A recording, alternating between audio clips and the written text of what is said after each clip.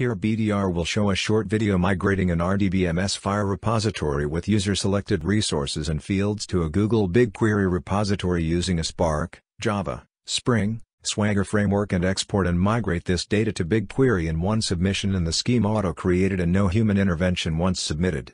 The setup time is less than a minute. Here the user is selecting their FHIR repository of choice, then scrolling through the FHIR resources and lastly selecting the fields they want to export from the FHIR repository. The user simply clicks in the checkboxes of their desired FHIR data to be migrated for their use. The user can optionally select extraction and load parameters to narrow in on their requirements. After the selections are made the user runs the one-step process. Now the user selects the target repository for the FHIR data extraction. In this case the user is selecting for the FHIR data to be auto-migrated to the Google BigQuery repository. As you can see all the credentials and security has been pre-established by the administrator though could be entered by the user. Now the user submits the migration from FHIR to BigQuery.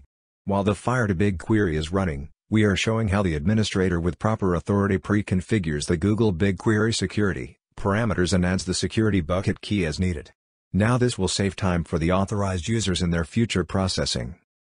Now that the process has completed, we open the Google BigQuery interface and open the new file and see the schema was auto-created and now can see that the FHIR data was migrated into BigQuery in a second level of BDR's AES 256 encryption.